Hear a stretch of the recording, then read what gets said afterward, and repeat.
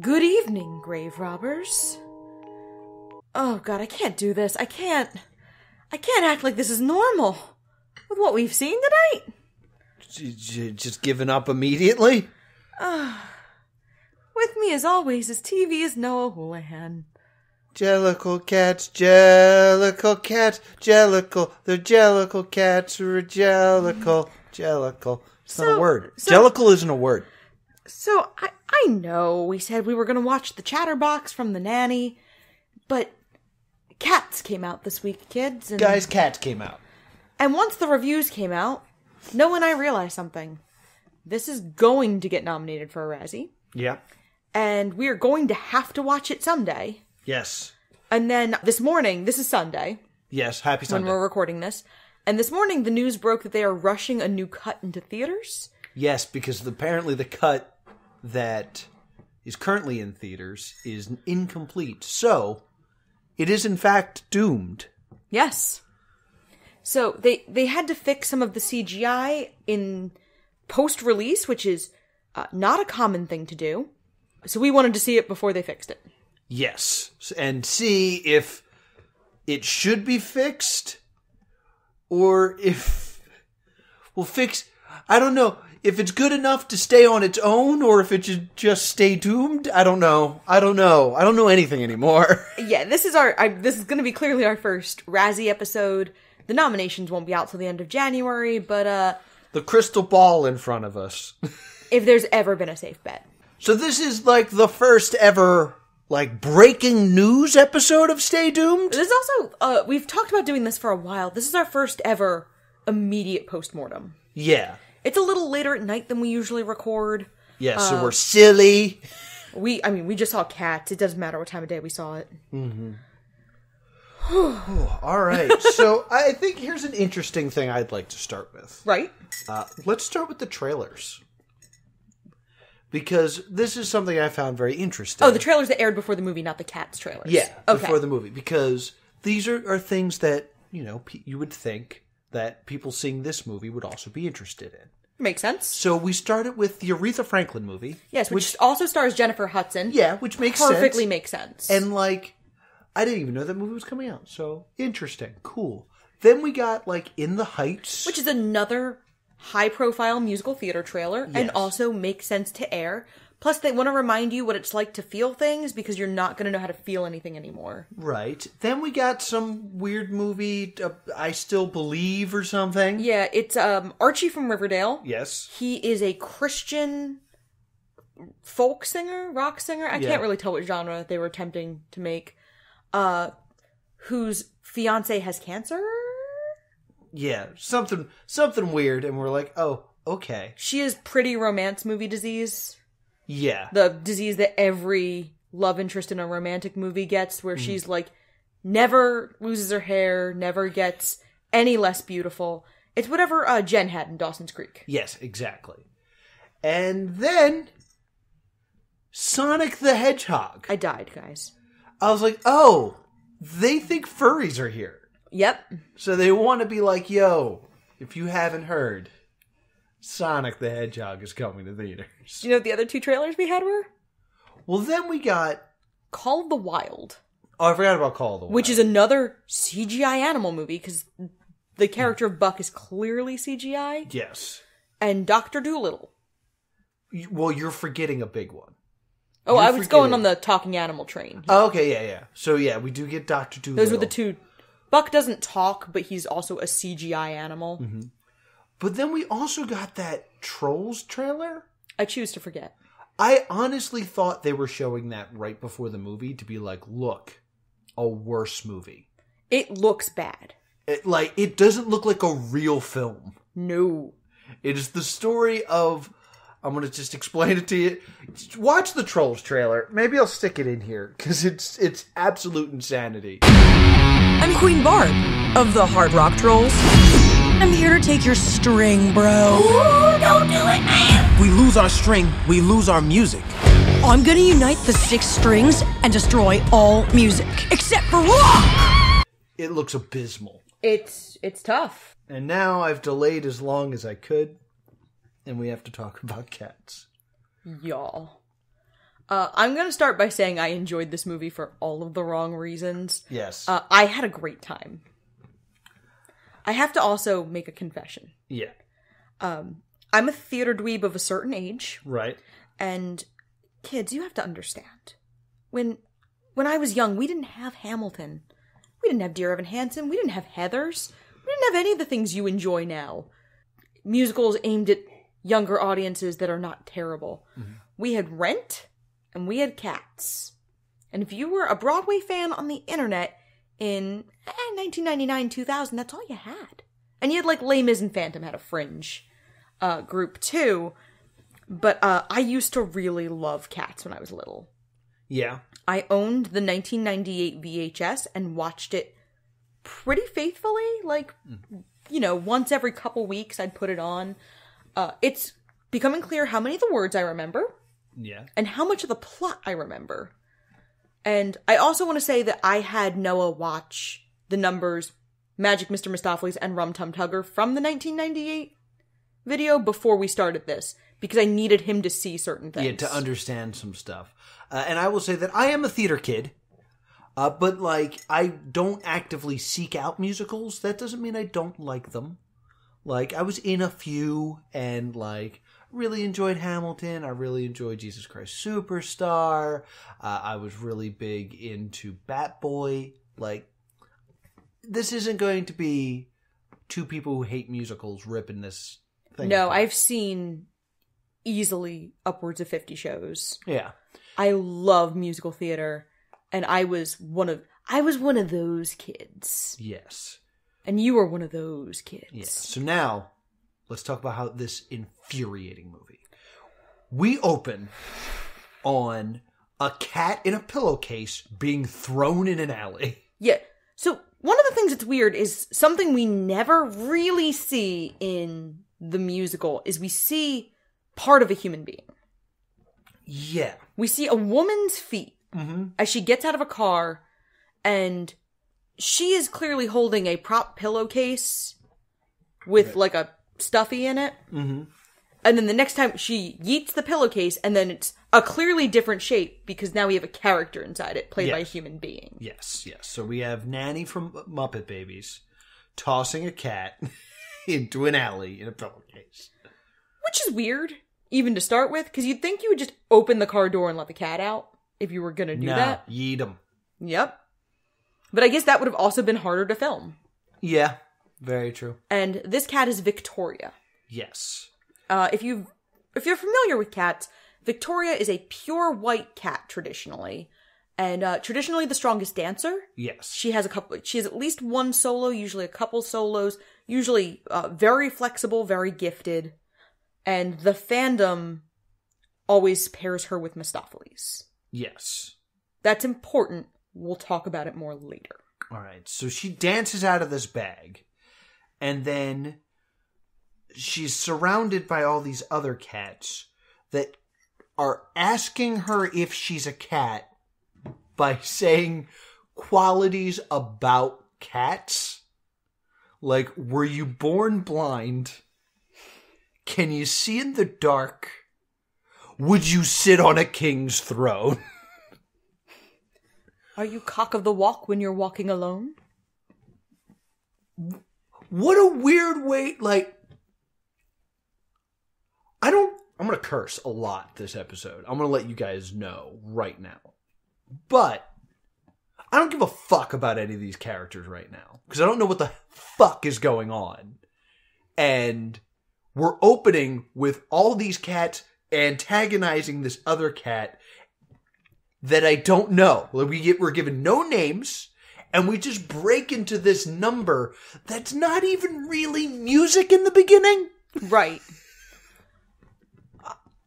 This is important to note. Noah, do you know the what Cats is based on? I believe it's a poem. A book of poetry, yes. Okay. Uh, Old Possum's Book of Practical Cats. There might be a copy of it in this house. Oh, Um, by T.S. Eliot. okay. Uh, because I studied Eliot in grad school, so I'm not. I also did just own a copy when I was a kid. Uh, so every song, for with few exceptions, is almost word for word taken from uh T.S. Eliot's Old Possum's Book of Practical Cats.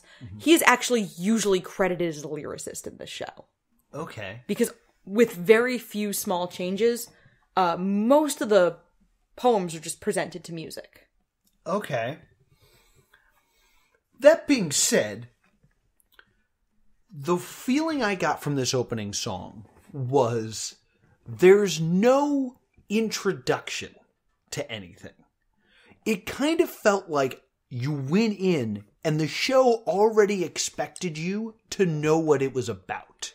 And if you didn't take the time to learn that, we're not helping you come along. To be fair, To be fair. uh, the musical treats you the exact same way. Yeah, and that turns me off. It like it it almost it feels elitist almost. Like like the opening number is if you don't get it, you're stupid. Like that's how I felt during that beginning part. Okay. In this musical number, they start dancing in the street in front of cat puns, Yes. but not good ones. No, like they're supposed to be in London, and it's like ads for Agatha Christie's The Mousetrap. Right? Like any cat pun they can figure out. They're also in front of a catsino. Yes. and also something called K9, Mm-hmm. which is a dog pun. Yes. Remember that. There's also a milk bar. yes. Like it's friggin' clockwork orange up in here. So, uh, I'm actually, since I didn't take notes on the movie because I didn't want to haul a notebook in, I didn't want to be that person. Yeah. Uh, plus, I also kind of wanted, since we can't rewind this and watch it again, Yeah. I wanted to really watch it. Sometimes I miss things when I'm taking Yeah. notes. Yeah. So I'm going back and forth between, uh, Cats is sung through. Right. So I have the track list up for the uh both the musical and the film. Okay. So the next thing we see after this quasi opening number. Oh, I have one more thing I have to say about this opening number. Sure. Is in the middle of it, out of nowhere, two break da- dancing cats show up wearing sneakers. Yes. And then I was just, why? Why do those cats have shoes? Yes. And none of the other cats have shoes. They're also like wearing necklaces. Yeah, like well, some of them I took like are wearing collars and things like that. But the fact that they're like these two cats have shoes, doop doop doop doop dancing, and then they're just gone. It felt like they ran out of footage and they were like, "Greg, Mike, go dance." Yeah, and they, I mean they're wearing necklaces through the thing. Uh I had the thought of they felt uncomfortably like racially coded. A little, yeah, I can get that. It reminded me of Transformers. Yeah, like they reminded me of Skids and Mudflap, where it felt very much like they were not cats characters who were being played by people of color. It was them looking around and being like, "We need black cats." yeah, It is also worth noticing that the breakdancers are not in the show. the The musical is clearly trying to add more genres. They yeah. change the instrumentation of several songs. Um, it's very, very strange. But the breakdancing cats felt very weird and felt very out of place, and it felt like they looked around, realized most of the cast was white, and were like, ooh, someone's gonna get mad at us. Well, the truth of the matter is, like, a ballerina kind of moves like a cat. Right. That's why it makes sense to have someone being like, all right, now this is the breakdancing cat. I've never seen a cat pop and lock. That's not what happens. There's also numbers it would have worked in. Yeah, this was not one of them. Yeah, like you could put that in the Rum Tum Tugger. You could arguably put it in Mr. Mistoffelees. Yeah. Uh, it works better in an up tempo number. Frustrated. So, like, I just want you to know we are eight minutes in this movie, and I'm unbelievably frustrated already. Yeah, like the breakdancing cats don't feel right. They feel weirdly pandering yeah. Um in like a very uncomfortable way where I'm like, I don't I'm not the authority on whether this is racist, but I feel like this is kind of racist. Um, so the next thing is the naming of cats. This number should have been cut Yeah. a lot. Uh, and it was cut. It's cut down. Okay. It should have been cut out. yeah, because I don't understand this at all. In the musical, this is just a spoken word poem. They don't Okay. really bother to like set it to a melody, Mm-hmm. and it's it doesn't translate on film. The, the the the name of a cat. Every cat has three names. Yes. There's the cat's name that the family gives it. Yeah. Then there's a second name that I don't understand. Yes, because they don't talk about it. And then there's a third name that's like the cat's identity that it doesn't share. Yes. They don't use this the way they're kind of supposed to I gathered that because I have no idea what the hell any of this is about. because they cut it down. But most of the named cat, the cats, the cat names that are brought up, for the most part, are cats that appear. Um, Plato, Admetus, Electra, Demeter are all people we see later. Mm-hmm. and they mention the cats' names that are particular. They mention five names, and all five are characters that appear in the show. Mm-hmm. Um, Munkustrap, who is the gray cat who is the leader. We see a lot of him. He is never named on screen. No. Uh, so he's Munkustrap. Quaxo, who there's a whole thing with Quaxo that it doesn't apply to the movie. Okay. okay. Um, Quaxo is what a lot of people in the fandom consider Mr. Mistoffelees when he's not being the onstage magician, okay. like a Superman Clark Kent kind of cat situation. oh. Okay. Yeah, weird. Coricopat is one of the twins. It's the one I called Copernicus in the car. Oh. Okay. And Jellylorum has been cut from the show. Okay. And then Bombalurina is Taylor Swift's role. All right. Interesting. So that, that's a huge flaw in this film is all of these characters have names, but we don't learn any of them. I didn't learn anything from this movie. So they did cut down the naming of cats, but they should have cut it out entirely. It's just a weird, creepy spoken word segment that does not work on screen. So then we're we're kind of at this point, given what this movie's about, Yes. which is all the Jellicle cats. Which, what the hell's a Jellicle cat? Nah. It's a cat that's part of this cult. yes. Uh, that they join on this day to appeal to, uh, what's it, Demeter, Old Deuteronomy, old Deuteronomy, who is named on screen. old Deuteronomy, uh, to be the cho- the Jellicle choice, and will be granted a new life. Uh, which immediately makes me think, oh, this is Logan's Run. Kind of. Yeah, at Carousel, we will at Cat Rosel, we will choose someone to go up into the sky. Uh, this is also more. Ex- this is the same plot as the musical and more explanation than we receive in the stage musical.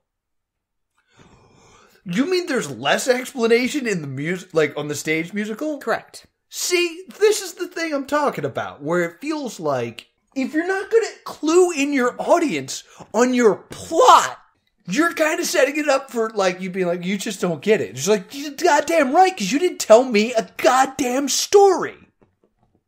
Nope. Oh. I'm not gonna not gonna defend this.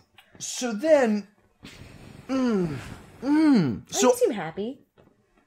as they set up this goddamn Logan Run situation, and then we're like, all right, we're gonna we're gonna meet our contestants. Yeah, they make it feel like a reality show, which is not intended to be in. It it's them like I had this moment during theater where I was like, I can't wait to tell Noah they added more plot because I knew that you were gonna lose it because I knew you were feeling like there is no plot to this, and I was like, ooh, No. wait till I tell him. I, and I'm not even done. There's a lot of things they added to try to make the movie make more sense. Uh, so yeah, we're playing Jellicle Idol.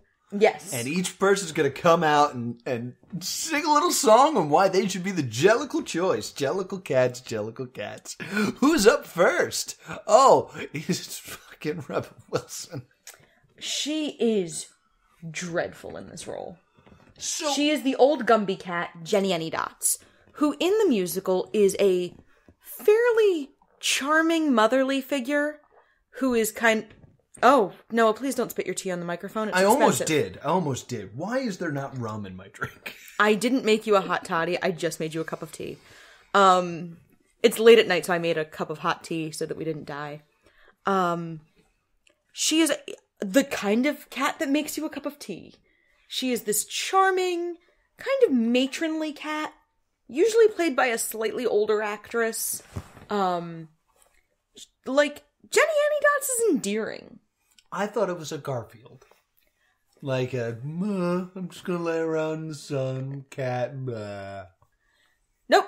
I mean, there's still the line she sits and sits and sits and sits, but the whole thing is that like her family thinks of her as an old lazy cat, mm-hmm. and then when the family goes to bed, she like teaches the mice to dance and like So th- this is a question I had for you because in this she she has mice that she teaches to dance and then like she, but she says like it's dinner and a show. Like I could eat these. And then later there are dancing cockroaches. With human faces, With human faces. Some of whom she consumes on screen. yes. A- any of this in the music? Like are, do, are we do we get mice and, and cockroaches in the stage? We show? never see bugs, and Okay. um, I'm usually using the 1998 movie as my best source because it's the one I remember the best. It's usually there's a group of actors that are kind of like thought of as the kittens. Yeah Um, when I showed you the Rum Tum Tugger, all the little young looking girls around Tugger, uh, those are usually the kittens. So there's a little sequence where they put on mouse ears and they're like pretending to be the mice, okay but it's clear they're not mice. They're not different characters. It's they're part of the play, and they're like, if Jennyanydots is auditioning, she is. Uh, the cats are helping, gotcha so they're like, we're wearing little mouse ears and we're cute. Because I was watching this thinking, oh my god, there's going to be someone that now has a resume that says cats, cockroach. That's got to be the weirdest thing to be on a resume.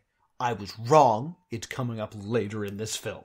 It also looked like the cockroach was one woman, Yeah, they they um they did the uh, Deep Roy. the Willy Wonka. Yeah, Deep Roy is the name of the actor. Oh yeah, yeah, Willy Wonka's Oompa Loompa, where they just cut him in a bunch of times. Um, Uh, so this this song is abysmal. This is the first time that for some reason I'm like, oh, these are just naked. They are technically naked. also, Rebel Wilson is very, very weirdly physical in this film. Mm-hmm. Like, it's a lot of Rebel Wilson. Like, this is very uncomfortable. Yeah, she's constantly like scratching her inner thighs. She draws a lot of unnecessary attention to her crotch and her butt. Yeah. And it's very, very weird and it's very unsettling. Uh, uh she, I don't, I don't think it was her, but I think it may have come up already. Uh, there's a line where they ask Victoria a question, Yes. And she's kind of like frightened. Uh, in a very cat way, like I was kind of like invested, like, oh, that was very cat-like the way she acted. And then someone says, What's your name? Cat got your tongue? fuck you. Like, that type of humor makes no goddamn sense. To, to like, yeah, let's throw in a cat pun. That's not, in this universe, they wouldn't use that expression. I used to run a web series. uh, we had this series of web comics called uh, CSW Comics. And the idea was we were a comic book shop. So we would all tell our own comic book stories. Okay. So there was mine, there was John's, and then John's girlfriend at the time uh, wanted to help us uh, run our forums. And we're like, oh, that's awesome.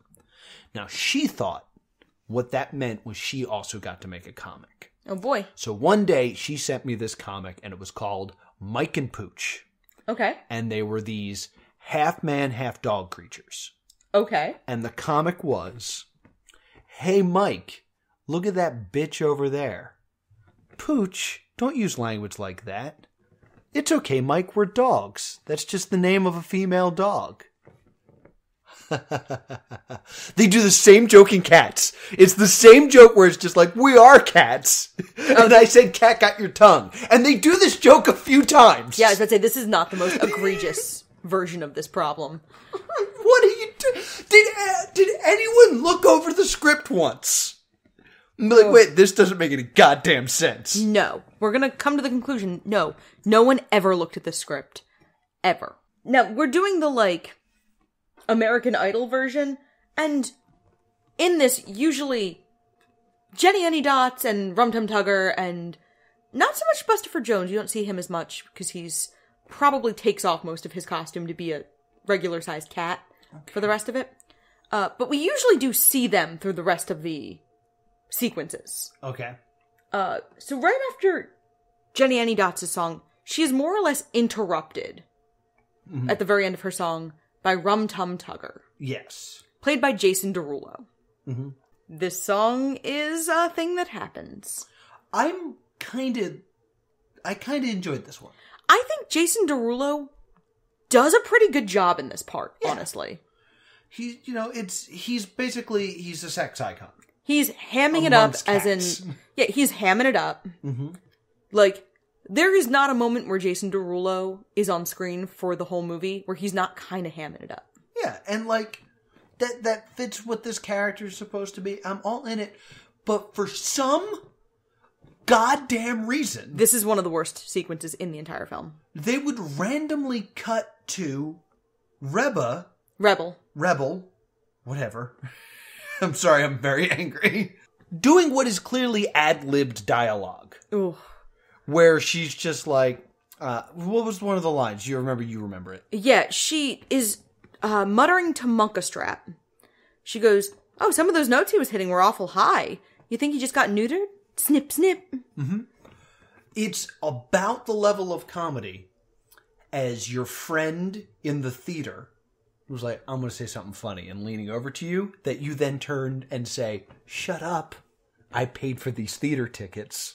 I'm Yeah. not here to hear your commentary. But no, it's a person interrupting the song.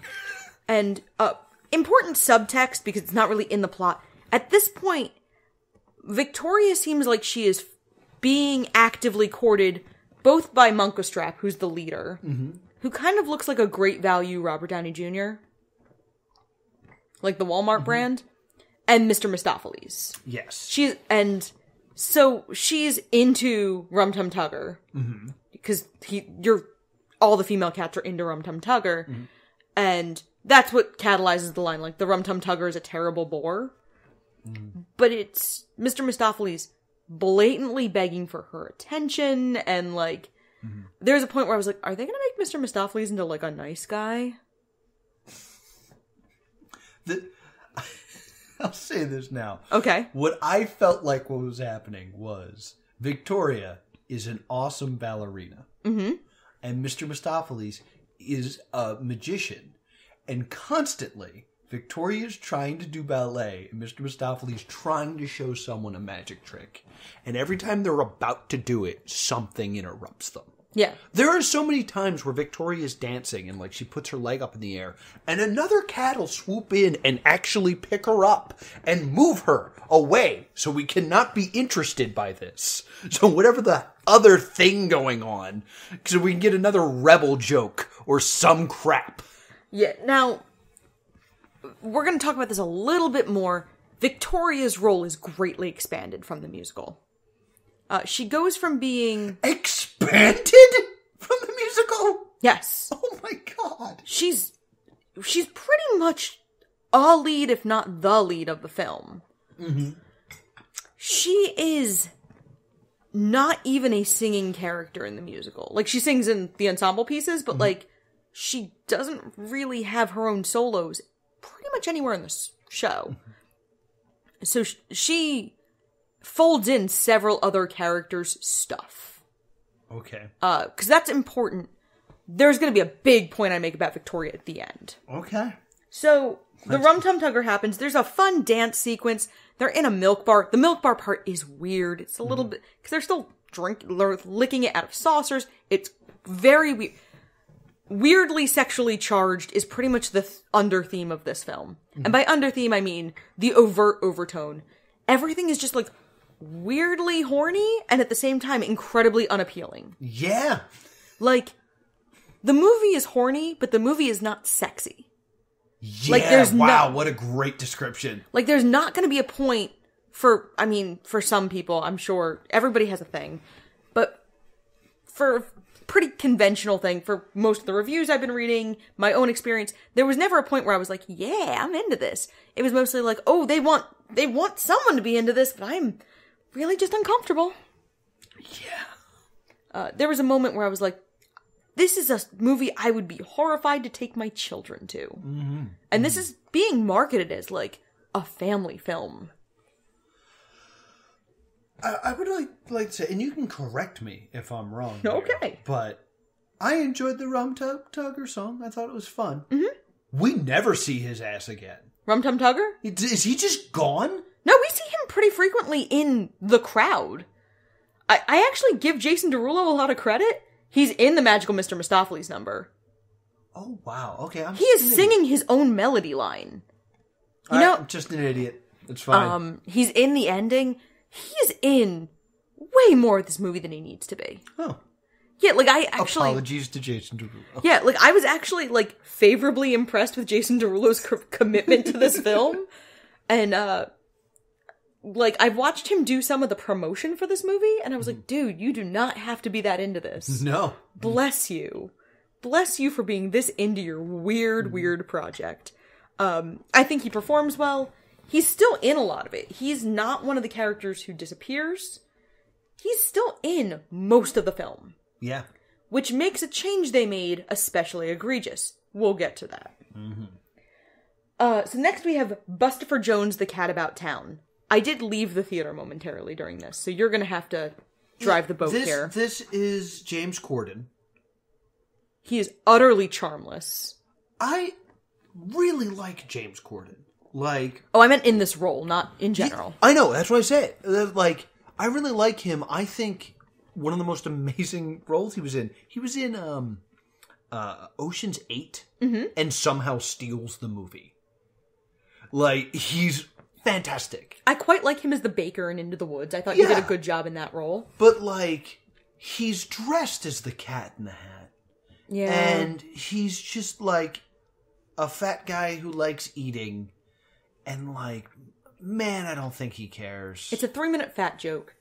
Uh, this is also important to mention with Rebel Wilson and James Corden. Rebel Wilson was in Pitch Perfect. right. James Corden was in Into the Woods. So these are two people who can sing. Yes, they are choosing not to. And they both sound horrible. Mm-hmm.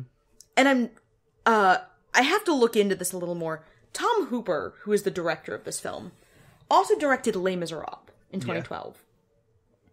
And in that film, he very much prioritized emotion over quality of singing. So he made the actors sing live.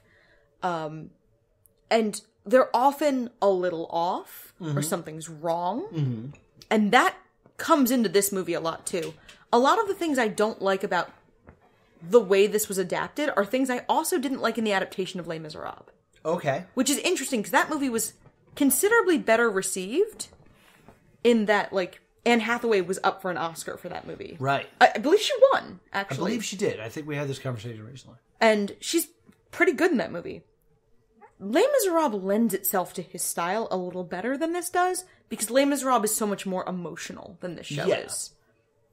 Like Um, all the cats should be like running around playfully instead of like being sad that their teeth are gone. And in the Heights, the trailer, I was like, there was so much more as far as like beautiful cinematography and imaginative sequences in like, and I, I've seen Into the Heights, and I'm not positive which sequences are going to go with which songs, but the pool sequence looks amazing.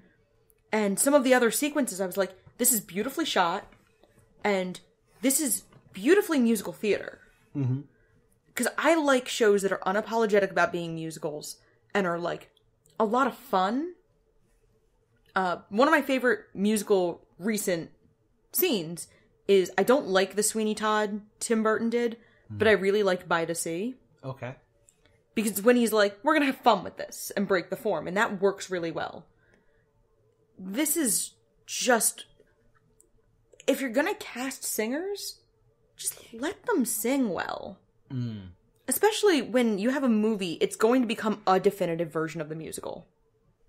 It's going to mm-hmm. because it's going to be something people can access much more easily. The way the 1998 Cats Right. is fairly definitive because it didn't matter if you were 11 years old and couldn't get any other copy of it and your mom wasn't going to take you to see cats 'cause she thought cats was stupid right. that's the only way you're going to see cats mm-hmm. so it becomes your definitive version so don't put your actors in a place where they're going to suck yeah. so that's we are 35 minutes into this I know. Oh, God. I know. Like I have a lot of feelings. Mm. So any more about Bustopher Jones Well, they do a bit where he's standing on a seesaw, and another cat jumps down and is supposed to propel him upwards. right And he's too fat, and we have this like dialogue of like, Right, well, that's not going to work, is it? That's what I say to you. "We get it, you're a cat." He also says, uh, because I was coming back into the theater right as this happened. Bring me more, uh, cats. Like, like he forgot they were cats. Like, Like they couldn't afford a take where his line reading seemed certain that he was a cat. this is going to to come up later, but uh, it almost feels like instead of acting like a cat, he's playing. He's doing an impression of a cat. Mm-hmm. Like, uh, he, he's just he's he's not committed to being a cat. Right. He's just it's more of like, look, I'm in a wacky cat costume. And that's how Rebel Wilson kind of feels too. Yeah, and it's very infuriating. And plot wise, it's important to note that Macavity, who is evil and who is Yes. Idris Elba, Yes. wearing a cool coat and a cool hat. Mm-hmm. Uh, which is very important that he's wearing a cool coat and a cool hat. Mm-hmm. He manages to uh, trap both Jennyanydots and Yes. uh, Bustopher Jones. he just kind of grabs Jenny Only Dots and then he tempts uh James Corden's character into like jumping into trash yes, and it like sucks him away. yeah, he gets like Veruca salted down like the squirrel chute. Yeah, and I, I always want to call him Moriarty. Yes, Is that what he's supposed to be? So that was very astute of you. One, there is a visual sight gag where they call it something Moriarty's. Macavity crosses in front of it and the text changes to Macavity Oh, okay. and becomes a picture of Macavity. They also, uh, Taylor Swift's character calls him the Napoleon of crime, which is Moriarty's nickname in the Sherlock Holmes series. okay. So, yes. Yay. Good job. See? I'm not excluded. Yeah, I was, I, I was giving you the credit. Um, Movie so, wants to exclude me. I'm not gonna be. So, uh, we have that that happens. Um, I want to I want to get through this. We have the Mungojerrie and Rumpleteazer sequence, which they clearly didn't really want to cut, Mm-hmm. but also brings nothing to the plot. Um, Yeah. it's just a sequence yeah. that looks that I think is intended to look cool and is intended to introduce scale. Because Mungo Yeah. Jerry and Rumpleteazer are petty thieves, Right. and they and Victoria, because mm-hmm. Victoria is not in this number. I showed you part of this number while mm-hmm. we while you were setting up the microphone. Uh, so they and Victoria are mm-hmm. robbing a house and playing and just laying waste to everything and doing like a number where they jump on the bed. They do less gymnastics and less impressive choreography than the 1998 video, which is weird. I'm gonna rip this apart real quick. Okay, sure. Okay, so one, I feel like one of the reasons why they kept it is it's the only real duet. Yes, that's fair. Because like all of these are like, I'm a cat and this is about me. And this is the only one that's we're cats and this is about us. Fair. Uh Two, like, this is like there's some good visual stuff in here mm-hmm. and, and but like we cut all over this like weird house, and there's a bit where they're on a bed Yeah. and they jump up and like grab the headboard and then they fall backwards. And I was like, why is this familiar? This is like a circus thing where they put a trampoline down and there's like a high box and you fall and you bounce up. Oh yeah, they have one of those like the warrior gym. Yeah, and it's awesome. Like, and you like you jump up, you do a flip, and all this other stuff. It's great because it's practical. This movie has so much god awful wire work Yes. where like the cat jumps but doesn't really jump, and then wires drag them along somewhere. yeah, like this is not Crouching Tiger, Hidden Dragon. Yeah, it's just like the wire work. It looks terrible. It looks like they're floating like Peter Pan, not cats jumping. And everything, like pretty much everything is CGI. Nothing looks real. No.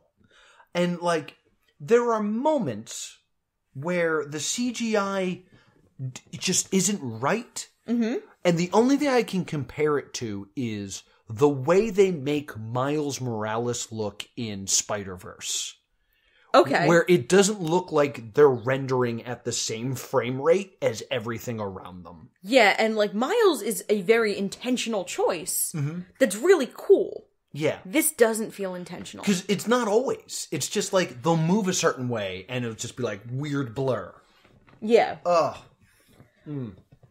I'm done ripping that part apart if you have anything to add about that part. So the end of it is they're playing and then they knock over a vase and upset the family dog, who we do not see, thank God, because I was not looking forward to crappy CGI dog. Yeah, understandable.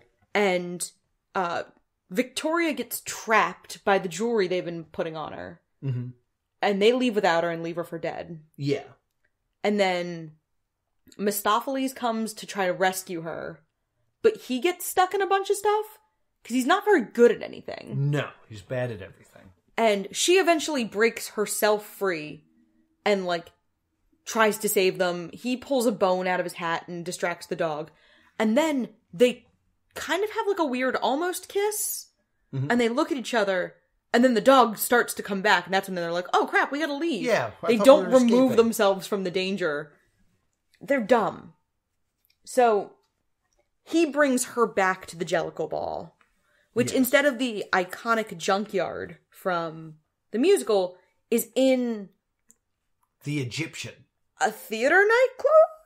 Yeah, and I thought this was kind of fun because the Egyptians used Worship to worship cats. cats. And I understand that this is now a change from the stage play. But I was like, oh, okay, I get it. Cool, but whatever. It, it kind of works. It gives them stuff to play with. It's mm-hmm. fine. The, out of the things in the movie, them moving indoors is really like mm-hmm. the least of our problems. Old Deuteronomy shows up. Yes. She's Dame Judi Dench. Dame Judi Dench in her human hands. Yeah, we we saw the version where her hand, the hands got distracting after I knew to look at them Yeah. because everyone still got very human hands. Yeah. Um, we'll talk about overall character design later, and we see Grisabella for the first time. Yes. who is played by Jennifer Hudson, who it needs to be brought up has an Oscar. I Yeah. believe Judi Dench does as well. Mm-hmm. Uh, uh, Jennifer Hudson. So the song "Grisabella the Glamour Cat" is essentially just them bullying this poor old cat, and they add in that she used to go with Macavity. Right. That is also not in the musical. Oh. They, I guess, kind of lead you to Macavity has used and abused her and abandoned her. Okay. Because I don't know what's wrong with this cat and why everyone's so mean to her. Yeah, she's like she's a washed up like glamour cat. Mm-hmm. She used to be beautiful. She's aged out of being beautiful and instead of the other older cats we see who have aged into clearly other roles in their lives, she's still mourning the times that have passed. Yeah. This is where I notice that for some reason, some of the scenes look like they're filmed by your jackass friend on a cell phone. You didn't like the Blair Cat Project? It just kept shaking. Like, like almost like an episode of uh, uh, Arrested Development, but worse. Like, just like when you're like, all right, I'm gonna hold this, I know I can hold this steady. I don't need a tripod. And you just can't. And your hand just drifts naturally. It's Blair Witchy, yeah. What? but with more CGI. What? There's so much CGI. You didn't have a tripod. Just hold the camera steady. What the hell are you guys doing? I legitimately wonder if this is one of the things that's going to be fixed in the new version. Um, obviously, we're not going to see it again before the podcast releases because I don't want to have to sit No. and watch this again I for a never while. see this again. Oh, I'm I'm gonna have to. Uh, And they always, always have Jennifer Hudson's nose disgustingly running. This is a Tom Hooper thing. He wants that graphic. Uh, he wants that graphic emotion. So you love the "Do It Bigger" opening number of the Tonys, I do. and you know when Neil Patrick Harris goes, Oh, wait, wait, oh, check this out. Uh, uh, can I have my uh, Tom Hooper Les Mis close up, please?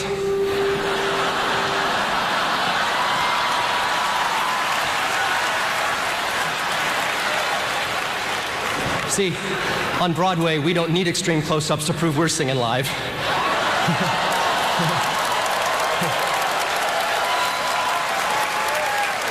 we sing live eight shows a week. Check it. he's making fun of this shot and a lot of the shots in Les Mis. Right. Tom Hooper wants to prove his actors are singing live, so he gets real close in on them.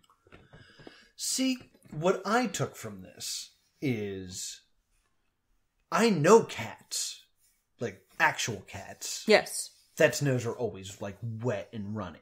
Mm-hmm. So it's just like, oh, this is a very cat thing to have that cat that always looks like it's crying and has like snot coming out of its nose. Mm-hmm. But why go there with this? It's unpleasant. That's kind of be like, oh, let's give them a real cat's experience and make the theater smell like piss. It's it, it's attempting to show how much emotion she has, but it is incredibly distracting. Yeah. Especially given how much CGI is in the movie.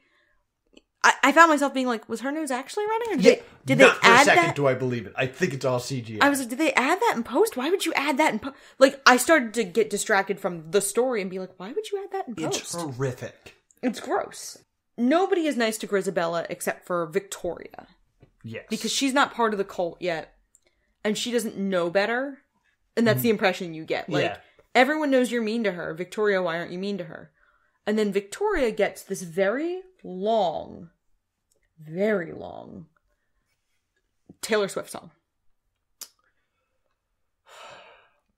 So, let me just real quick tell you my experience with this.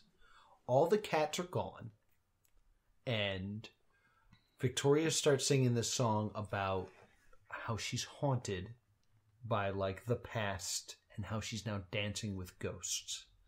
And I was like, oh, we're really like now we're breaking through and instead of this being a cat auditioning to be the jellicle choice we're now getting into this character and how she like really feels and things like that i'm invested and i was kind of like a few like lyrics in i was like i think this might be the best song in the show and then you lean over and go this is the song they added and i wanted to leave Oh, I'm so sorry. I was like, you gotta be kidding me. This is what I've enjoyed most.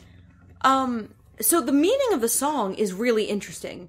Uh, Victoria is supposedly abandoned and she's much younger. She actually envies that Grisabella had good times. Because she's like, at least you have good memories. I have nothing. Mm-hmm. Which is kind of like a weird kicking someone when they're down of like, oh, at least, you know, you have good memories. I have nothing. Feel sorry for me. Well, she doesn't sing it at Grisabella. Yeah, she kind of low key does. I, I thought this Grisabella was. leaves. Yeah, I thought this was just like, this is my damage.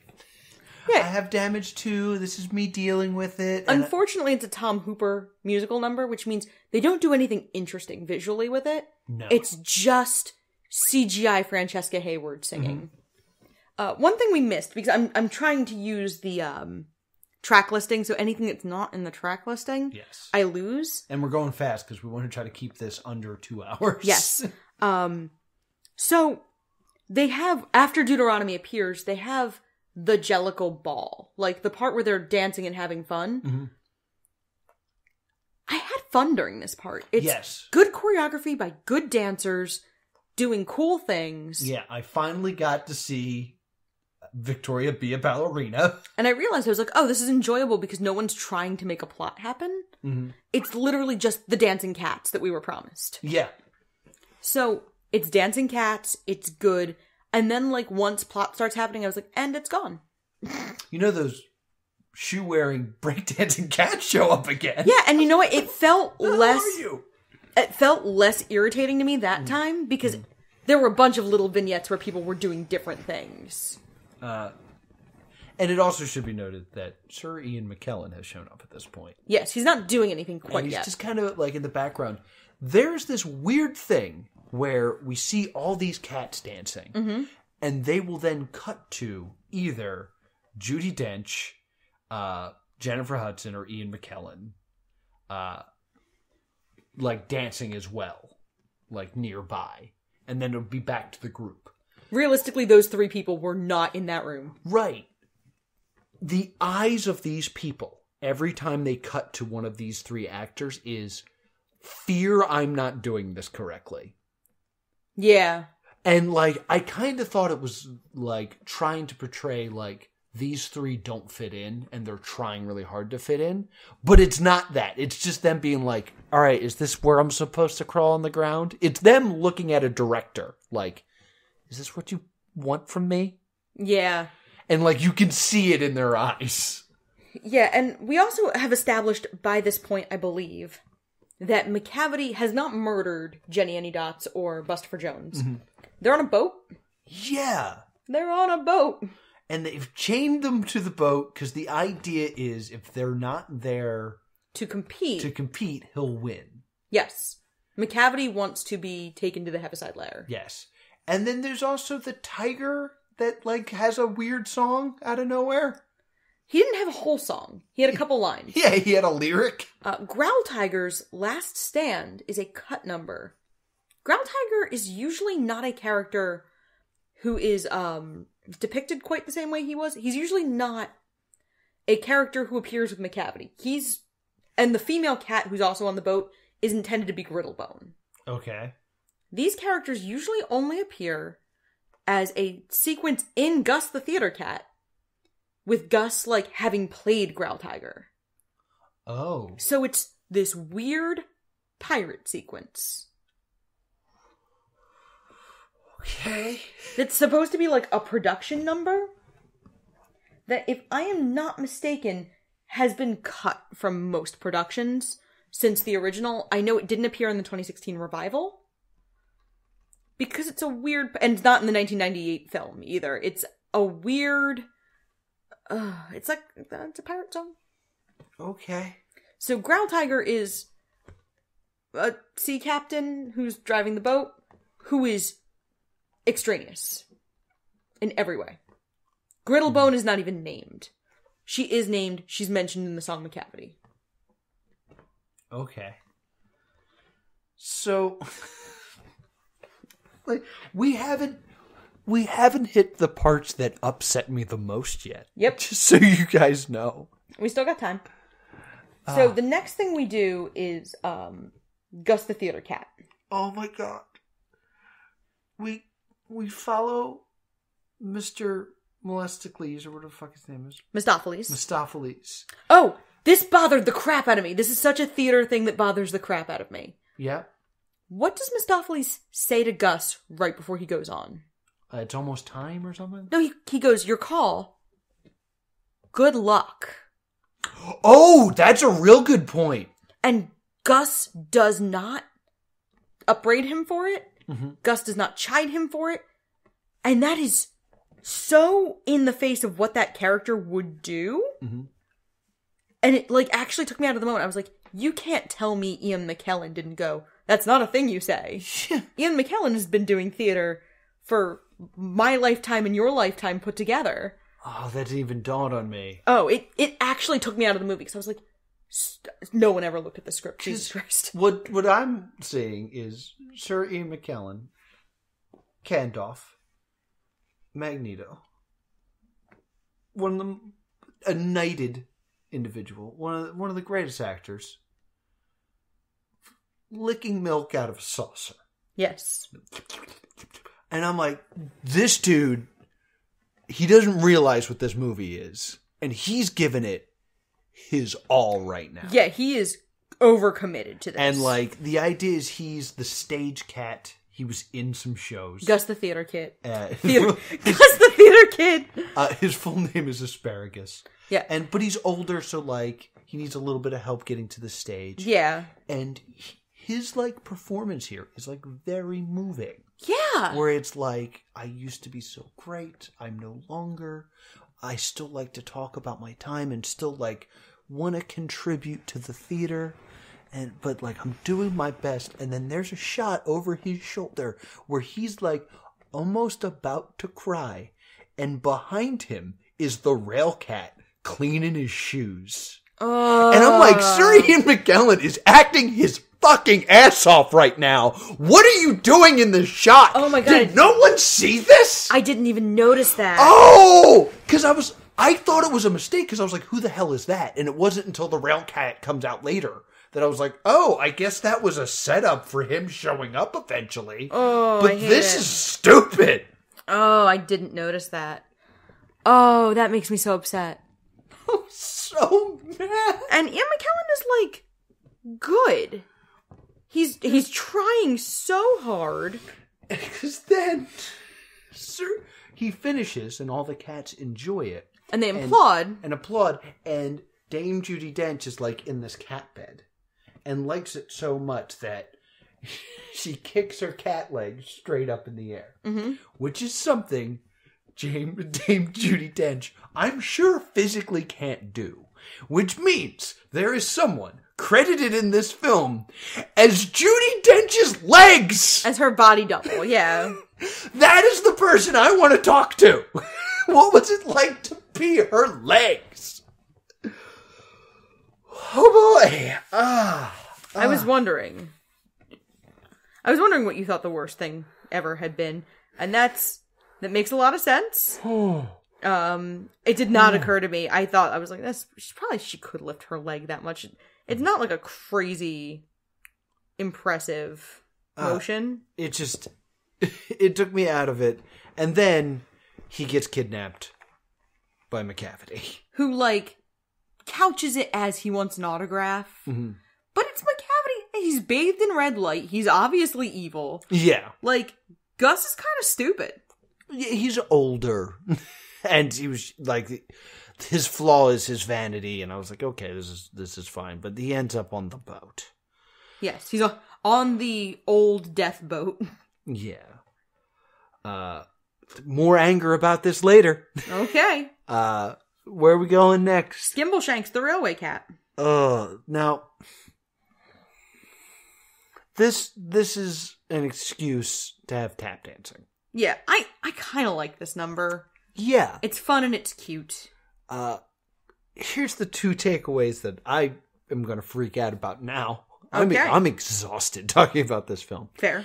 Is he's the railway cat, you know, the cat On the railway On the rails. train. And this is when I was like, oh, wait a minute. Are these all supposed to like represent different stereotypes of cat? What the hell's a railway cat? I mean, they would have cats on trains to have. Uh, they didn't do the work Skimbleshanks does. Yeah, like when I try to think of like, okay, what are the different types of cat? Well, there's the lazy house cat. We kind of get that. We have the alley cat, which I don't know is maybe James Corden in this. And then you should have like the cat that's around to kill rats. That's never really addressed. And the bodega cat. Where is my bodega cat song? So, I mean, they would have had to add it because there was not a like bodega cats weren't a um a thing when T.S. Eliot was writing in the 1800s. okay, understood. Um, so like they were using these. You have to remind. You have to remember that this was like the 1800s. Gotcha. Okay. My apologies to T.S. Eliot. That little thing is not a problem. Yeah. Um, they would have had to add the book, but they added the breakdancing cat, so they they could have. Yeah. Couldn't they have had like Lin Manuel Miranda write a bodega cat song? I would like, Like He has a whole musical set around a bodega. He could write a song about a cat. Yeah, that'd be perfect. What a Lin Manuel Miranda should have been in this and fixed it. Uh, and they do this thing where he tap dances a train noise, Yeah. which is, is kind of cool. And he's tap dancing, and then all of a sudden they're on the train, and then as he's like on the train and like they're dancing on the tracks, it slowly dissolves, and it's they had never left the Egyptian. They're still in the theater, and that was all a fantasy sequence. Why was that not happening the entire film? Yeah. well, that's what I say when I say like musicals that are not ashamed to be musicals and are willing to like uh I Dreamed a Dream is one of the only sequences where Tom Hooper does it right in Les Mis, mm-hmm. where she's singing and we also see things that are alluded to in the show. Like we see Fantine sell her hair. We see mm-hmm. Fantine sell everything she has essentially. And we watch her decline through I mm-hmm. Dreamed a Dream which is what a movie musical should do. Use the medium. you can do things on screen that you can't necessarily do on stage easily or, you know, financially feasibly. Mm-hmm. So this was a cute little sequence. I, I it didn't make me angry. The actor who played Skimbleshanks, who I have to look up, Steven McRae. Uh, Steven McRae is a ballet dancer. He's had some other uh, credits, but he is primarily a dancer. Okay, all right. He was good, Yeah, but like at this point, I'm so sick of this is my audition for the Jellicle Idol competition. Like I'm, s I I don't want another like because I don't know any like. All they say is this is what I do. Like Yeah. you don't learn if any of these are like good cats. Yeah, like, like, you, you don't, don't know learn- anything about their morals. like why do I care about any of you? Yeah, like they they don't Deuteronomy says like she can see in a cat's soul. But like so we don't learn anything about like whether they've ever done anything. It yeah. It's the plot sucks. Yeah. But good news, we're not going to see another audition song. We're going to see one character sing about another character Yes. for the first time. We're going to see Taylor Swift. She is going to sing Macavity. Yes. We've waited all this time for Taylor Swift to return or to show up in this film because I knew she was in it and because I saw the scene where she like dumps a little bit of catnip out and there's not much more to her than that. She is only I mean she has a little dance. Um There is more, not much. yeah, it's her singing about Macavity who is ostensibly her lover. So, we finally get Taylor Swift and she sings Macavity and it's very strange because she got like really good reviews for this movie. Mm-hmm. A lot of people said she was the best part of this movie. I did not enjoy her performance in this film. I don't I don't have much to say like I'm the least angry about her. Yeah, I just kind of feel like she doesn't do very much and like she tries to have a British accent. It's extremely inconsistent. Mm-hmm. Like she has a British accent for about the first third of the song. And then it just kind of gets forgotten. But the other noteworthy thing is Idris Elba takes off the coat and hat and it's horrifying. Yeah. Like he's a he's also a cat person. because it i felt like he wanted or they wanted to show off how attractive he is Mm-hmm. so they wanted to show like his abs but there's a shot where you see a navel and that Oh, that is very weird. oh yeah. Oof. i screamed in the theater. I was like, oh! I, I could not handle this. And he was like uh, since i'm the only one left i need to win. And deuteronomy's like no i will never choose you. I hate you. You're you're a bad cat. yeah Bad a, cat. you're a real bad cat. I don't i don't like you. So he uh magics her away, takes Taylor Swift with him. And through this whole sequence, Mungojerrie and Rumpleteazer and Taylor Swift have been blasting everybody with catnip, yeah which is the effects of this are unclear. either they're brainwashed or they're having seizures or I'm I'm genuine like I'm not trying to be glib. The, they're- they they kind of act the way a cat acts on catnip, where they just kind of like lay on the ground and are like, "Oh." So they're just high. They're they're high, but like on Molly or Yeah, it's- ecstasy. it's where, very like, weird. Touching themselves feels especially good. yeah, it's very uncomfortable. Oh, Yeah, so Oh, you're about to hear a new level of anger, believe it or not. We have a scene on this on the death boat. damn boat where they're gonna make Deuteronomy walk the plank Walk the plank. because cats hate water, and I was like, okay, I, I'm on board. Yep. Yep.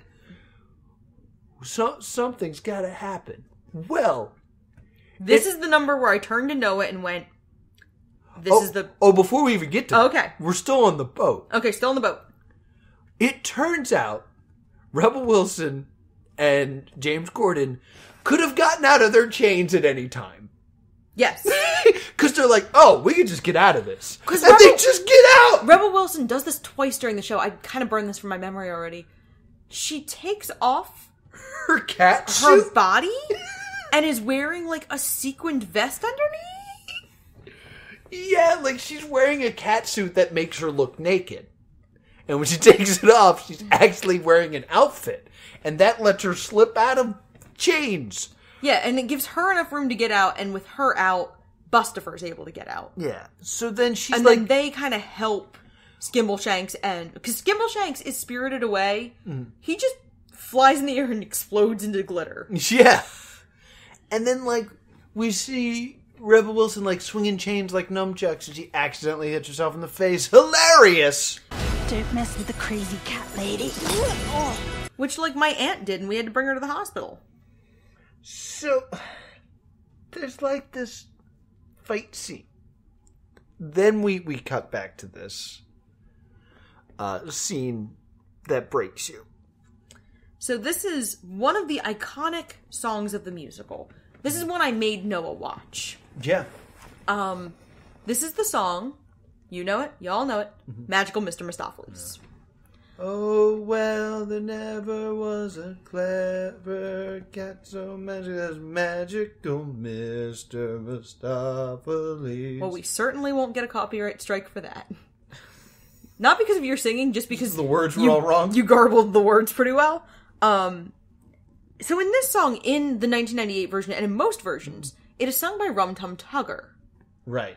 and he is singing about his admiration for this talented magician who everyone figures is going to be able to get Deuteronomy back. Yeah. Everyone believes in him. Mm-hmm. It's like, oh yeah, Mistoffelees can bring him back. Yeah, definitely. Mm-hmm. This Mistoffelees is played by a talented dancer and a good actor, but he is playing him as a nervous seventh grade boy Yeah. the music is almost unlistenable. He- they don't really even sing it. Like they kind of like mumble through it because he's so unconfident. Mm-hmm. And like for the record, the plot here is as if the president was kidnapped, and we were like, "Oh my god, we need to get the president back." Call David Copperfield. I mean, in in this world, magic is real, and also in this world, Is it? I mean, Macavity uses magic pretty consistently. All right, yeah, that's true. So instead of what happens in the um in the musical is that he does some really fun, cute little things, and then he does a full on magic trick on stage where he has uh one of the cats volunteer and she goes under a blanket and he says like presto mm-hmm. takes the blanket off and deuteronomy is there Right. in this one he fails several times mm-hmm. and it's just awkward And every time they fail, they stop singing for a moment. The most iconic song, in my opinion, from Cats. They just like give up on. yeah like the song never hits the energy level it hits in the musical. Not even close. It's not a celebration the way it is in the musical. It is awkwardly trying to get this young cat to struggle bus his way to victory. Yeah. And in the end, it looks like he failed, but Judi Dench comes in behind Yeah. and sings, and they're all like, "Oh, she's back! Hooray!" Yeah. Mr. Mistoffelees did it, maybe. yeah, like it's Or Deuteronomy escaped, possibly. yeah, it literally. I, I- when I turned to you, went, "This is the number that's going to break me." Mm-hmm. It's because one, they made it like three times longer. Yeah. Well, not three times. They made it much longer. And slower and oh, it's just It it's- felt three times longer. And again, they shoehorn in Victoria. Mm-hmm. Like she gets a solo during it, that she believes in him, and then they like nuzzle, which I think is how this movie is presenting kissing. Yeah, because they're cats. But like every everybody's nuzzling each other, so I'm not really sure. They're, they're clearly trying to sell us a romance between Mistoffelees and Victoria. Mm-hmm. But since they can't use human physicality, it's just weird, and we don't really get it. Yeah. So we cut back to the boat, which I forgot this damn part, but James Corden hacks up a hairball and hits someone in the face. Oh yeah, I kind of just It's like the hackiest cat jokes you can think of. yeah. And then once they realize Deuteronomy has escaped and is saved, there's a moment where Sir Ian McKellen is like having an emotional reaction to this. Mm-hmm. That like Deuteronomy, someone that they ca- that he cares about deeply, is safe, and he's in the foreground, like looking kind of like, oh, good, this is good. There's a little bit of sadness because now he's not going to be there to be the gen- the Jellicle choice. Like he's conveying so much with mm-hmm. his face, and half of it's CGI.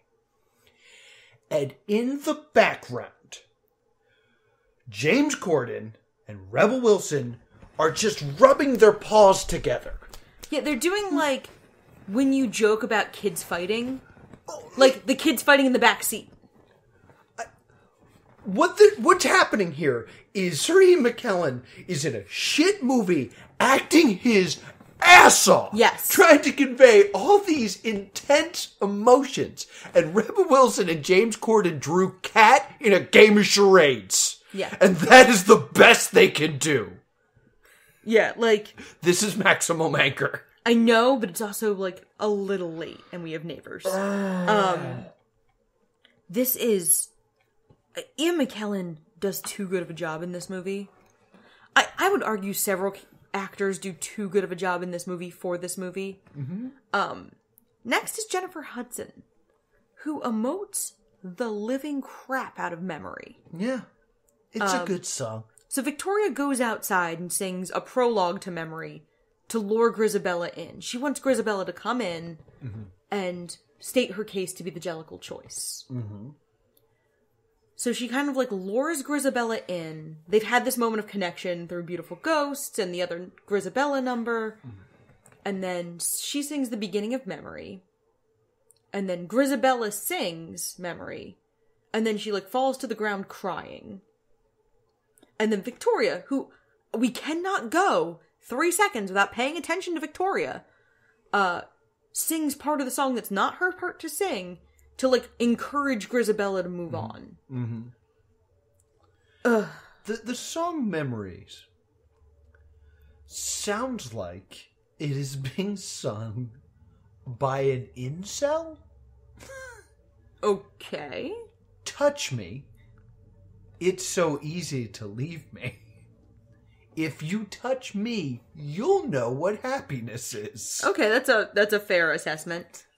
Um It's like- it's it sound like it's it's a very nice song, nice meaning, but if you sing it from the point of view of a guy who thinks his dick is God's gift to women, it has an entirely different meaning. now Memory is an interesting case cuz it's the only song based on not it's the only song that's in the musical that's not directly based on something from Old Possum's book. Oh, It's based on another T.S. Eliot poem oh, uh, Rhapsody on a Windy Night, and there's been a lot of lyrical changes to make it fit. There's like 30 freaking versions of Memory with like different verses and different refrains. And This one seems to use all of them. Like, there's a bunch where I'm like, I feel like we're using all of these. Interesting. So they they have to change some of it to fit the meter of the song. Mm-hmm. So like when they were writing the musical, they changed a bunch of stuff. And it's a little bit like On My Own has a couple different versions. There's certain songs that have been changed up and adapted over time. And that's one of them. So Grisabella sings Memory. It's very emotional. It has the Tom Hooper problem of the actor is crying so much and emoting so hard, the music is no longer very pretty. Yeah. Like, the movie soundtrack is not the definitive version I would use for anything. Yeah.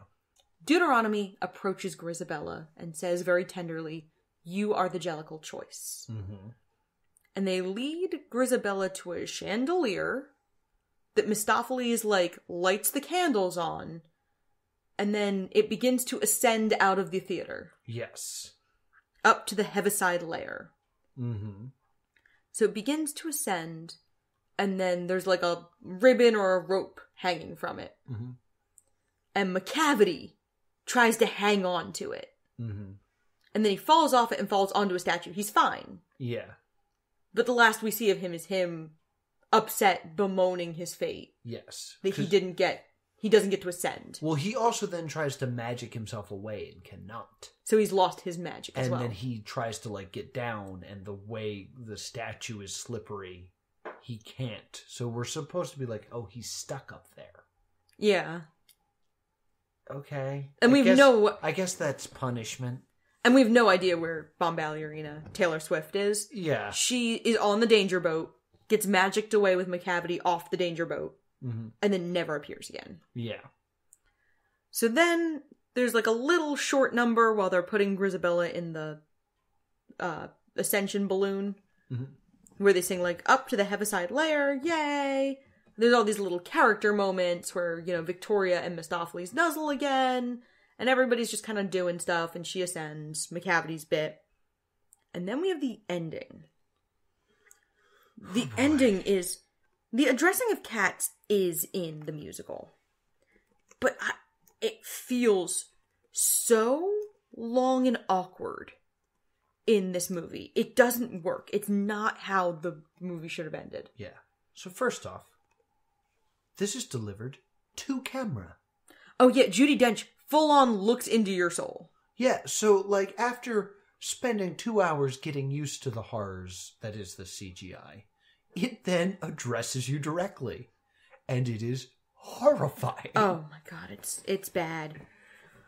Uh, you legitimately went ah! Yeah. I actually said no. I was like, stop.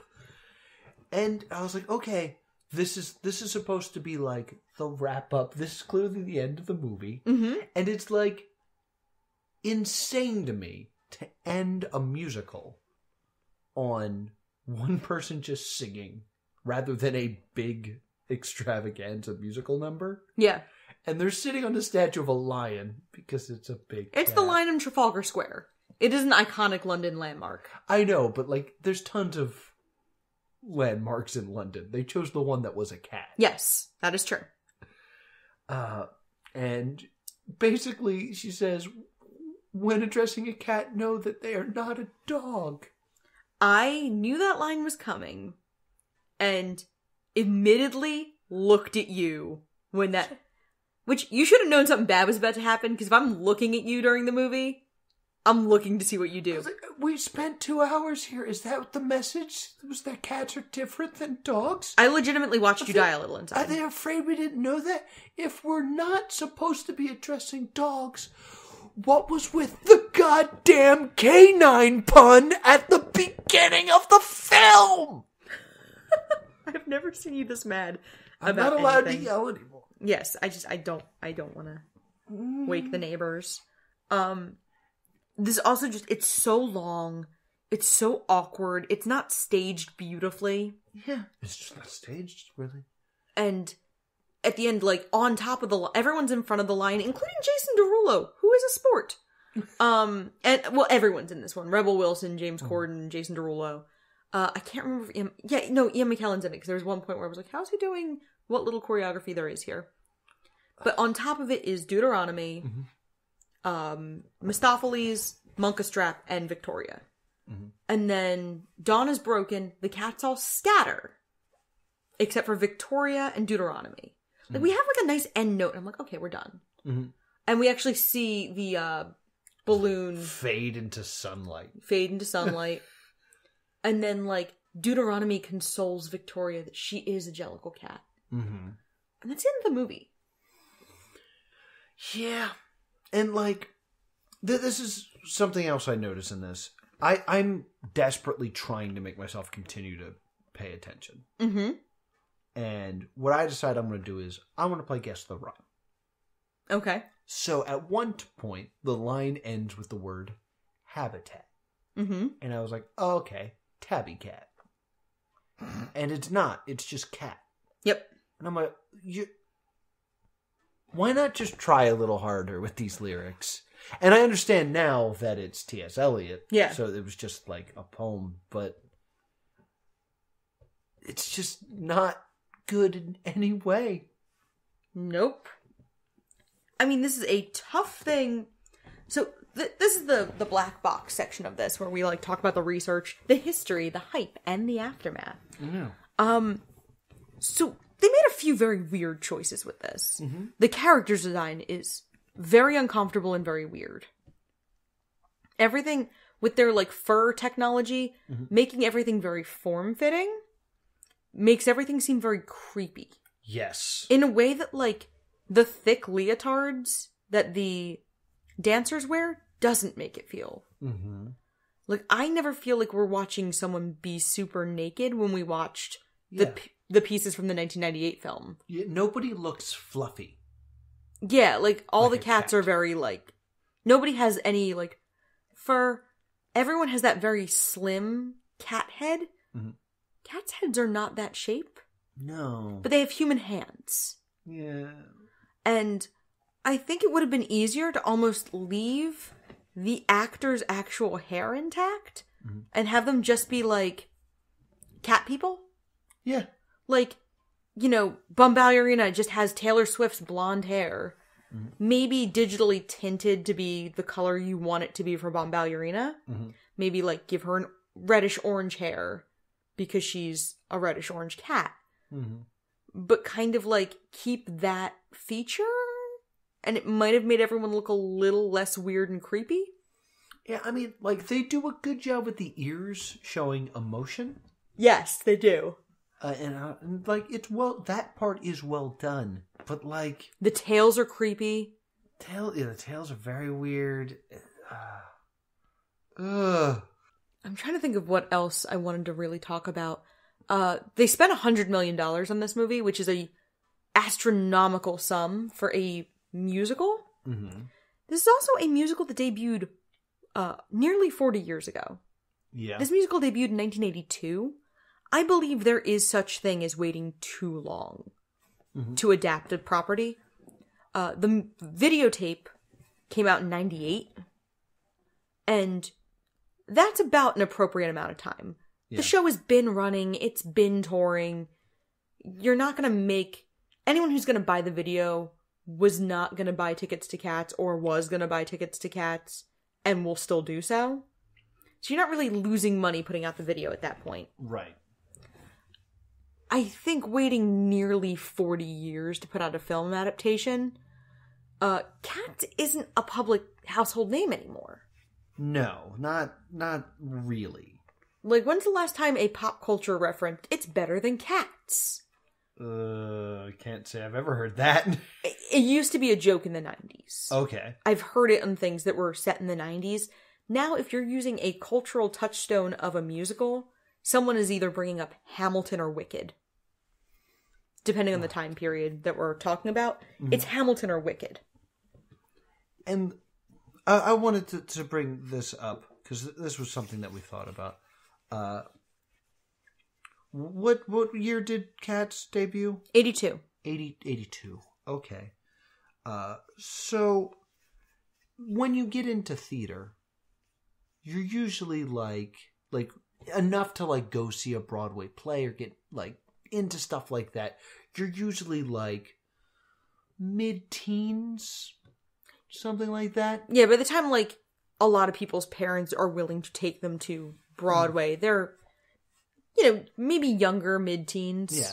So I was thinking, like, if you were, you know, a mid teen in 82, and like, so, and Catch was your thing, here 40 years later, you would probably be interested in seeing Cats, the movie. Mm-hmm.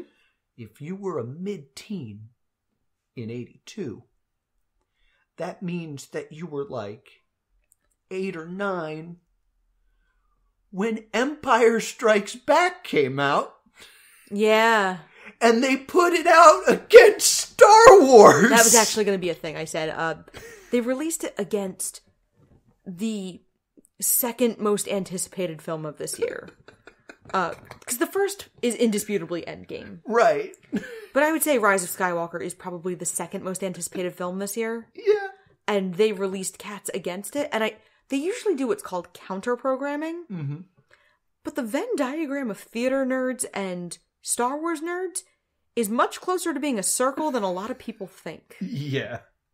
there have been multiple theatrical Star Wars uh like shows. There have been multiple parody musicals. Um I I know one quite well. Yeah. Um so there there have been multiple Star Wars stage theatrical endeavors. So that Venn diagram is much closer to a circle than you think yeah. they were trying to run it as because it's a musical they were trying to run it as female centric counter programming forgetting that generationally star wars is much less male dominated than it would have been in the 70s and 80s a lot of women are into star wars now uh, look around our home Yes. so it's not really effective counter and usually a counter programming film is fairly inexpensive think like sisters the amy poehler movie that came Right, out against last jedi um it's usually a less expensive film that's gonna have to do way less work to earn its money back Yeah. Katz's budget was 100 million dollars before marketing Mm-hmm. and before what happened today before this alternate release Right. where they've had to digitally fix stuff because Tom uh, Tom Hooper admitted openly that the movie was not completed until Monday of this week, Mhm. and the uh, premiere was on Tuesday. That's insanity. So they released an unfinished film essentially. Has this ever happened before? So there's one movie I can think of that was pulled from theaters, but it was running in a much, much more limited scale. Okay. to be released, fixed, and re-released. Um, and it's Watcher in the Woods, which let me look up the release here on, because I, I just had a thought, and it'd be a really interesting coincidence if it was okay. It was 1980. I kind of thought it might have been The same year. 1982, and that would have been funny. super, super interesting. So they they had to release another version with fixes. Yes, they pulled Watcher from the Woods from release because it was like essentially unfinished. So the movie was released in 1980 and only in New York. Okay. So it was only running in one city and it was pulled from theaters because the audience was like this movie's terrible and they fixed it interesting. because they had to fix the ending because it didn't make any sense. Okay. So they made it a little bit more. They ratcheted up. It was a kid's scary movie. Mhm. It's a Disney movie. And so they made it a little more tense and a little more scary, but then they kind of explained the ending a little better Okay. and fixed the ending so the plot made sense and then re released it, and it did alright. Uh, I, I've been racking my brain trying to think if there was ever a time where a uh, a director has come out and said, "No, this wasn't my vision. It wasn't fixed," and then fixed it. And I can think of another one, and it's Star Wars. That's true. um, I can actually think of a few where things changed. E.T. uh et well et that one's that one's actually infamous for how ridiculous it is uh beauty and the beast Oh yeah. they cut a number called human again And then once Beauty and the Beast was ridiculously successful and had a ridiculously successful Broadway musical attached to it, they finished the animation for Human again, edited it back into the film, and re released the film. The difference being this was about 10 to 12 years later. Yeah, this is the only time in 40 years where it's been a week later they're like, yo, we had to fix some stuff. Technically, only three days. Three days. It would have yeah. come out Thursday night with Star Wars. Mm-hmm. The re release was being sent Sunday morning.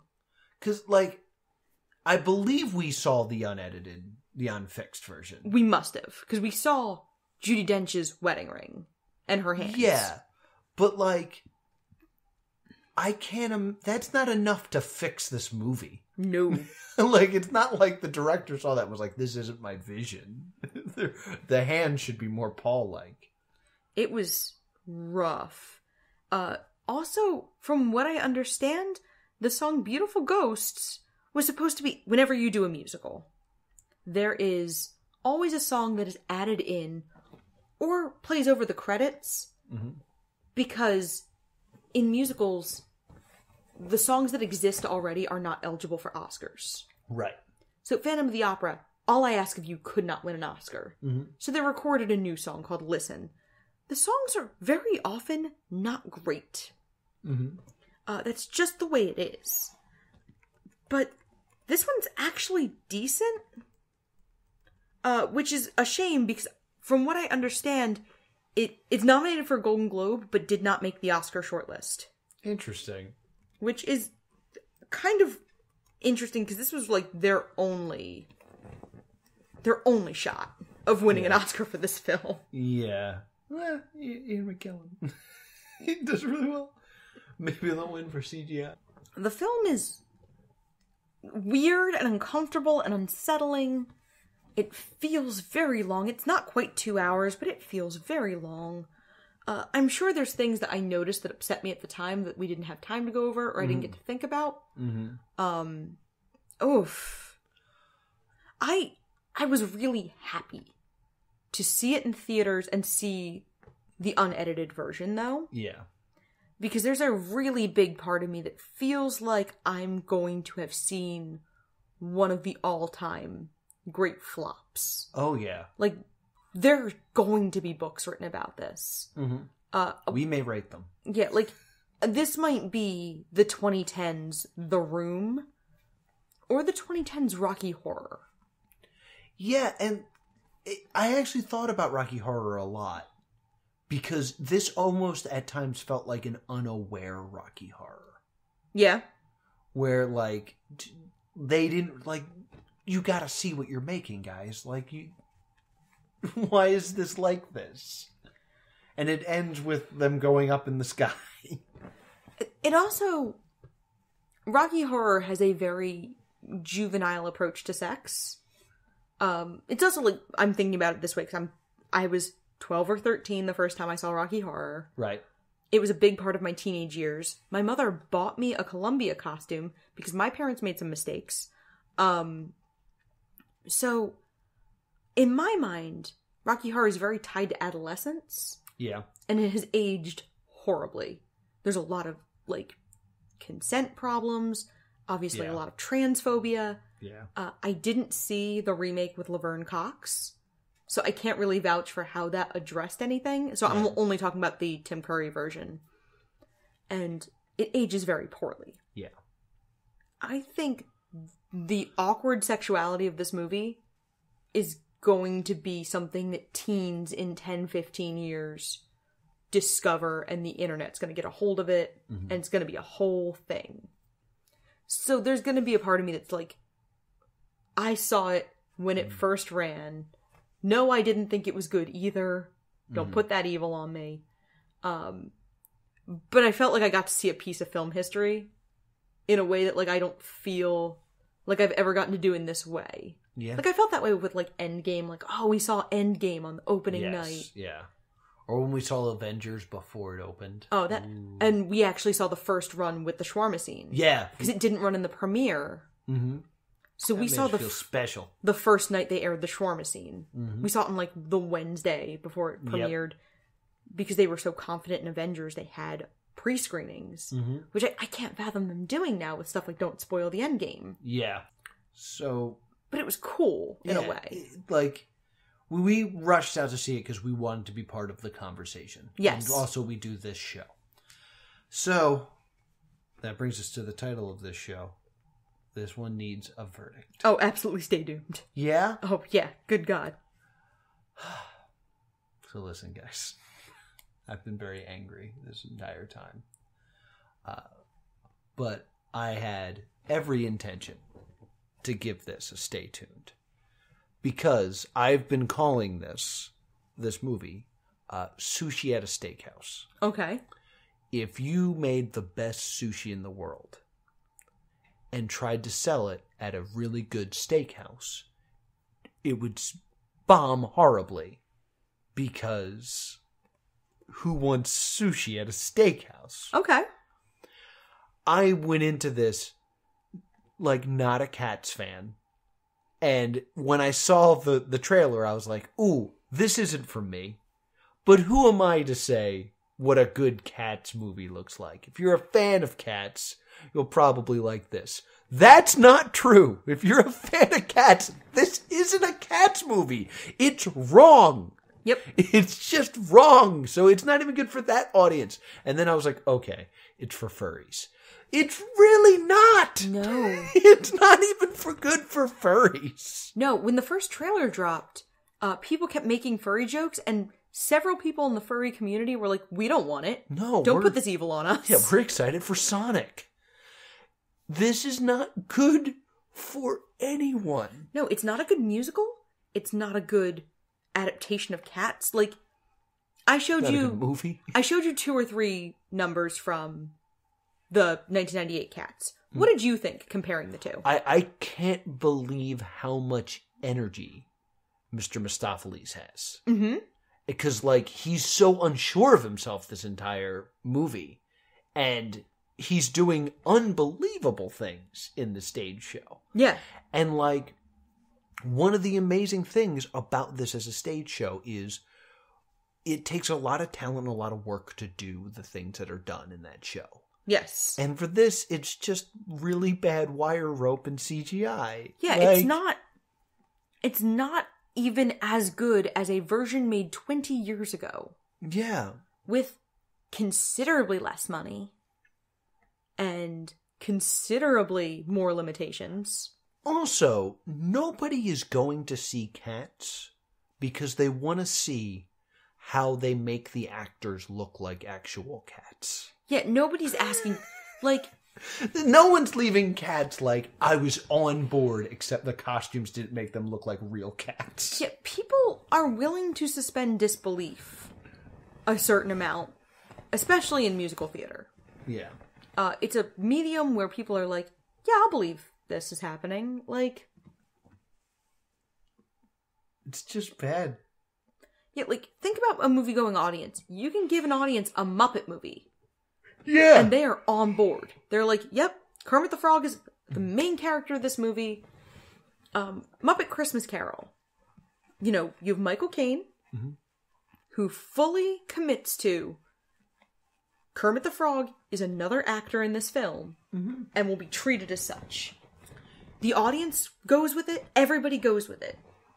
I think it's also important to mention how much of the cats are CGI, so the actors have no idea what they're actually going to look like. yeah. I would pay American dollars to watch a reaction video of any of those actors I I might seeing the trailer for the first I also time. might buy the DVD just so I can see it before CGI and like behind the scenes. Uh, I am probably going to buy the DVD because I'm planning to use this movie Right. academically. I also think, and this is already going way over time for an episode, but it's very interesting that they paired the Sonic trailer with it because of the Sonic backlash of like they tried to make a realistic looking Sonic and the fans were like, "We don't want that. Just give us a cartoony Sonic that we love." And the cat movie was like, "We're going to give you realistic looking cat people." And nobody wanted that. Oh, it was so bad. Ugh.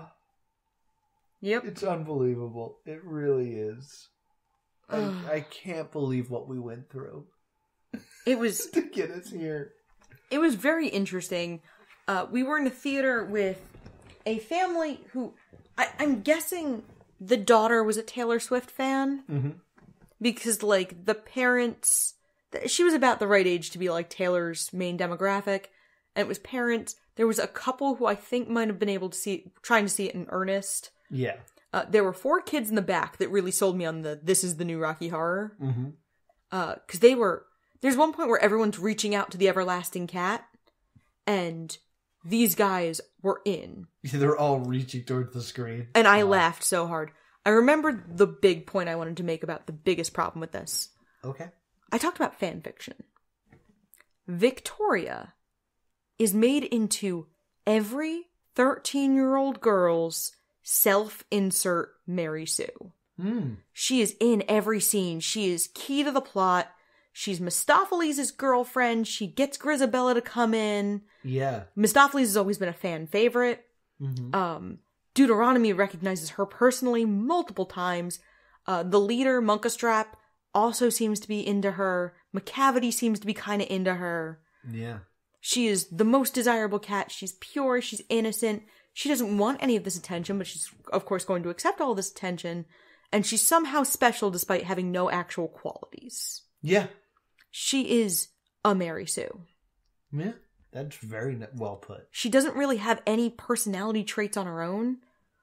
Um, she's not even like she's an incredible dancer, but we don't really get to see enough of her dancing. Weirdly, in this film, No. because we don't. constantly kind of get her taken away because she's dancing in the middle of what's supposed to be the action. Yeah. So she is really a Mary Sue. And the fact is, she's not written in the play that way. So she's there to give us an audience surrogate. Yeah. But it feels like it, it hits all the boxes of the Mary Sue. She's beautiful. She has a tragic past. She instantly seems to connect with everybody. Mungojerrie, and Rumpleteazer let her rob a house with them. Yeah. Uh, and of course, they like leave her to take all the blame because it's not entirely unrealistic. But like, for some reason, this innocent cat is everybody's favorite. She's one of the four left on top of the building at the end. Mm-hmm. And it's such a weird. I mean, she's barely in the show. Mm-hmm. She is the Bella Swan of cats. Yes. She is there for the target demographic of very young teenage girls to project themselves onto. Mm-hmm. And that is the reason I really couldn't stand what they did with that character. They also made Mistoffelees this like kind of awkward teenage boy character.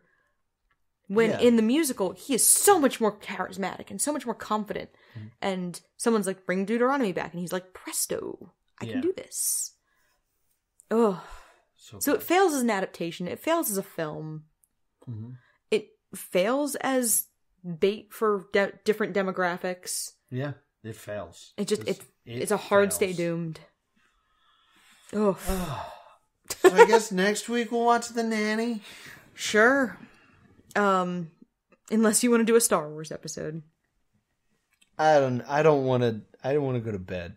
we'll decide this later. Okay. Where can people find us, Laura? You can email us at the Stay Doomed Show at gmail.com or on Facebook and Twitter at Stay Doomed. Well, what if people want to see us like live? You can see us January 2nd through 5th in National Harbor, Maryland at MagFest. And if you play Dame Judi Dench's legs, I'm at TV's Noah. If you also owned the VHS of Cats from 1998, I'm at Priorities. Until next time, stay doomed.